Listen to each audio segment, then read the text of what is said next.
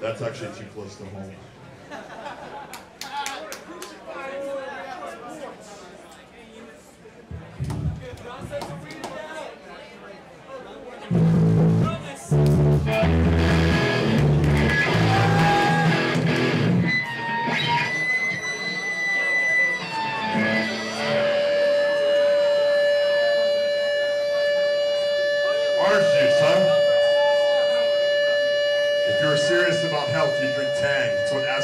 Drink. Poser.